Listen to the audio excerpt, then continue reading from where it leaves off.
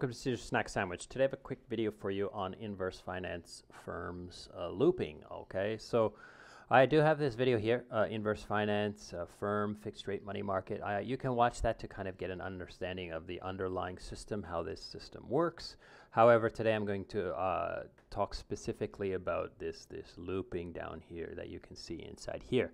Um, this video is going to assume you understand what the DBR token is, how it works, how this like fixed rate borrowing works and how these are isolated and so forth. Um, there's a lot of information here, so I don't want to try to cover everything. I just want to kind of highlight this, this, this stuff here, okay? And why I think it's pretty special. Okay, so as you can see, the first thing you're going to look at here is you're going to go down through these lists and you're going to see these purple words here and you're going to choose one of these collaterals that you want to use to kind of loop this up. Now, as you can see, the majority of the looping can be done with collateral that is a stablecoin or a yield-bearing stablecoin. However, there is one here where it's CVXCRV where you can loop up to almost 2% two times sorry and you know that's a little bit more risky because this is a volatile asset and DOLA is a stable coin.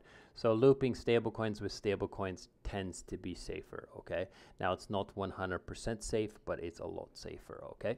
So you can kind of go through these and check the purple and see what it what we're looking at. We're looking at like 61% if you loop it 10 times.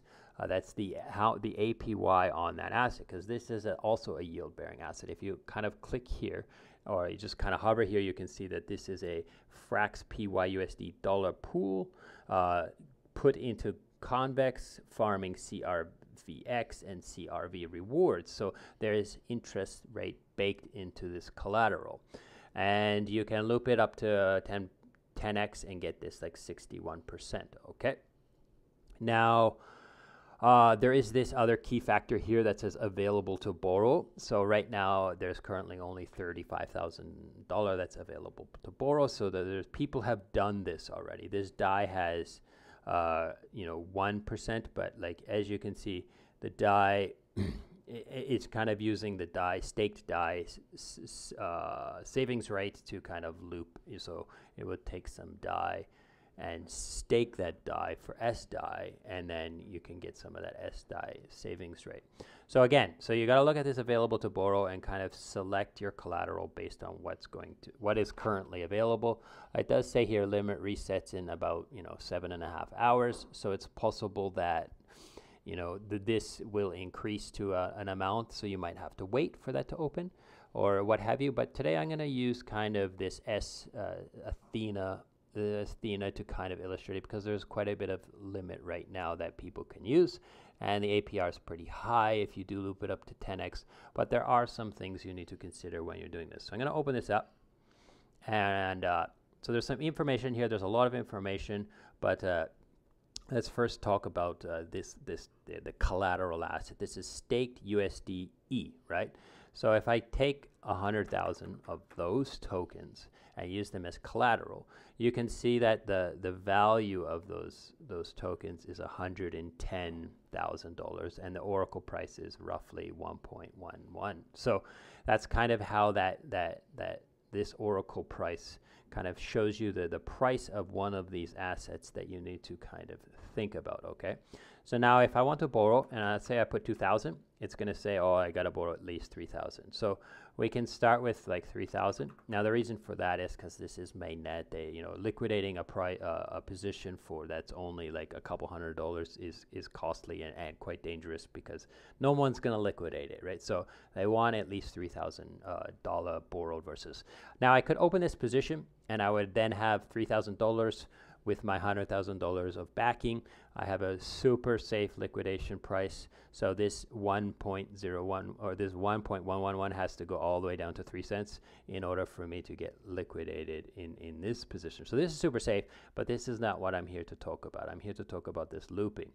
Now, again, I do want to mention that this is uh, you, you do need to have DBR in, in your wallet to pay for your interest.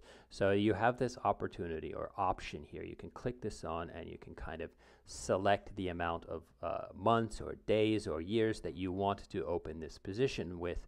And let's so so let's say I said six months.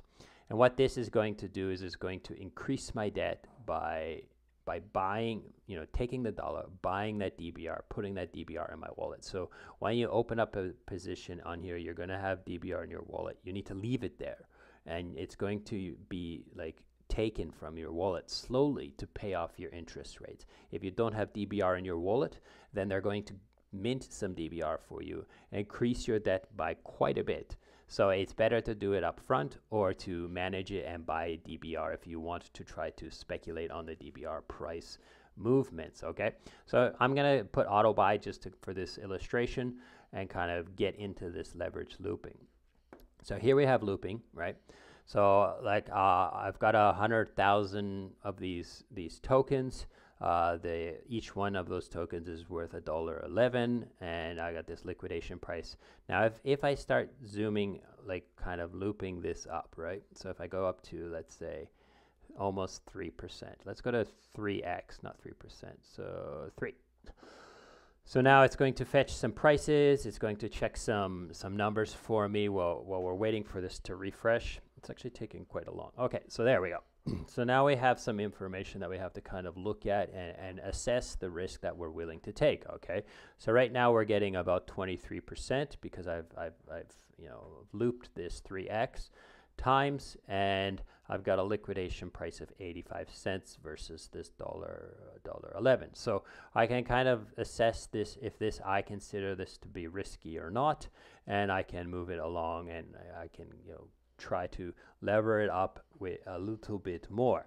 Now, what is actually happening is like if you wanted to do this manually, what you would do is you would take this hundred thousand, you would borrow some DOLA, you would take that DOLA, you would go and buy some more of these, you would collateralize it, you would buy borrow some more DOLA, you would buy some more of these with the DOLA, and then you would collateralize it as well. So that's kind of what 3x leveraging kind of does. Now this system is not actually going through all those steps. It's just going to mint a whole bunch of DOLA, immediately buy that or mint that, swap for that, and then collateralize it all in one transaction. So it doesn't have to do all those steps because it's able to pre-mint the, the, the DOLA and then buy those assets. So that's kind of what's going on under the hood. Um, as a user, you don't really need to care whether it's manual or or an automatic system. You just kind of have to assess this like liquidation price and so forth. Now again, you know, this is a fixed rate term deposit. So right now in six months, I'm gonna want to like come back and repay this. So especially if I've got this auto DBR on, I've pre-bought the the interest rate with debt on my position. So this is not something you want to loop up. Uh, choose six months as your duration or whatever, and then come back in six days to repay this, right? Because you're going to have all this extra DBR in your wallet. You're not going to have, then you're going to, it's going to be hard to unwind this position because you're going to have to sell that DBR to get back some of the DOLA. And you might even end up with less than you, than you, than you started off with because you're, you'll have to unwind it carefully and you're prepaying this position. So this is the type, kind of thing that I, you have to kind of really assess whether or not you know you want to run this thing for six months. Now you could do six days, right? But then in six days you better be back here to unwind this thing, right? Or otherwise you're going to get hit uh, quite quite substantially with with uh, with penalties for not paying off uh, your position in time. Okay, so that's kind of it. Uh, uh, there's a lot of information here. There's a lot to kind of consider. Uh, there's a lot of risk, but make sure you kind of understand everything. I I think I, have given you enough information to kind of really understand what's happening here. But what makes this very special, in my opinion, is that this is looping at a fixed rate APR. There's a lot of protocols out there that allow you to do this kind of looping. Even Aave, you can do looping. It might not be zappable in, a single click, but you can loop on Aave as well. However, most of the other protocols, they have a variable interest rate. And that makes it some like looping on a variable interest rate kind of requires you to monitor it more closely because those interest rates on some of those protocols can get very high, very fast, very instantly.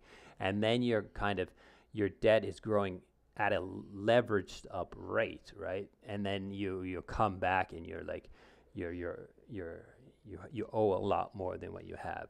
So being able to get this fixed rate borrow in in in a looping system, in my opinion, is pretty valuable and worth a consideration of the risks that are inherent with this kind of looping and leveraging stuff. Okay, so uh, that's it for today. I hope this is useful and interesting, and I thank you so much for watching, and goodbye.